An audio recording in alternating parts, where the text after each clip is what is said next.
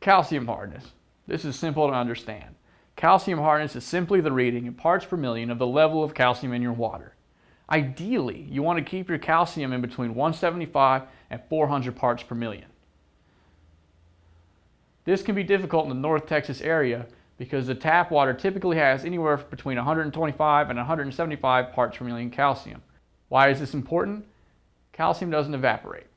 So in the heat of the summer, while you're losing anywhere from 3 to 4 inches of water per day, and that's being refilled with tap water, you're adding more calcium into your pool. Every time you add calcium hypochlorite shock, you're also adding more calcium into your pool. This is why we recommend rotating between calcium hypochlorite shock and non-chlorine potassium monopersulfate.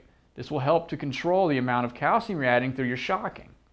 We also recommend using sequestering agents like Supreme Plus or SC1000. Supreme Plus is an annual additive, SC1000 is added monthly. These chemicals create a barrier in between calcium and your pool surfaces. This is the best way to prevent scaling from occurring.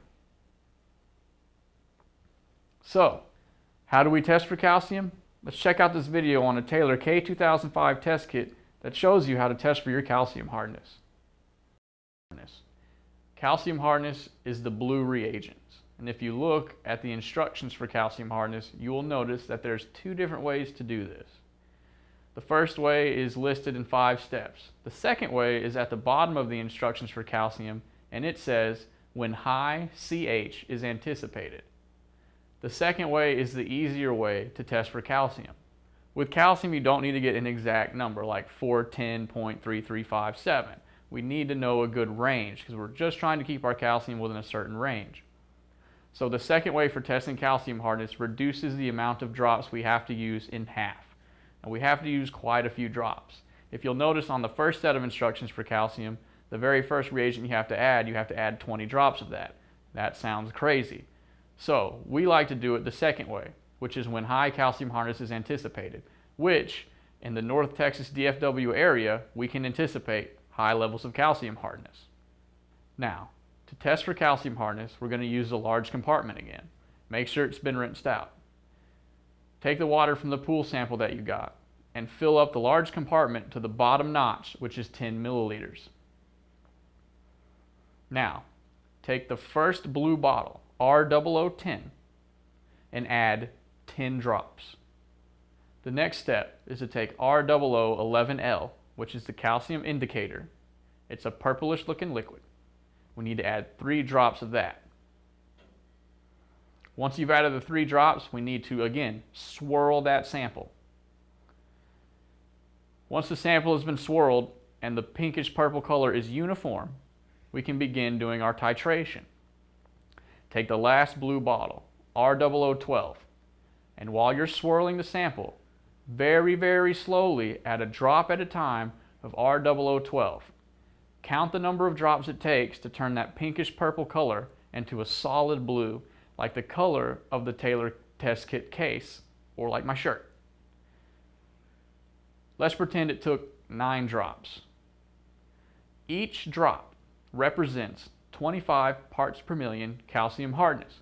So, if you have 9 drops, multiply 9 by 25, and that'll give you a reading of 225 parts per million. That will put you in the proper range of in between 175 and 400 parts per million.